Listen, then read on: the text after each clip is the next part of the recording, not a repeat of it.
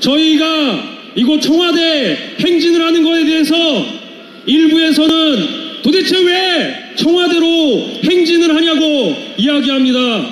그리고 안타깝게도 오늘 행사를 주최한 퇴진행동 기업 기념위원회는 이 문제에 대해서 청와대 행진을 철회했습니다. 하지만 그래서 저희 민중총괄기 투쟁본부는 유감스러움을 표현합니다. 즉 우리가 청와대로 온 것은 적폐가 청산되지 않았고 문재인 정부가 적폐를 청산하기는커녕 적폐를 일부 늘리고 있습니다. 사드 배치를 추진했습니다.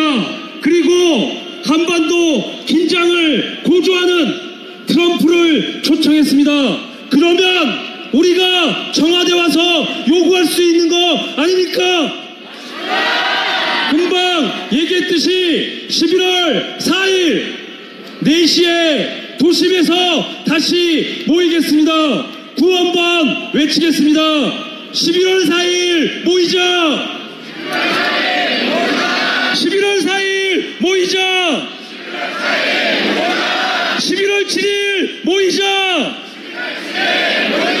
11월 7일 모이자!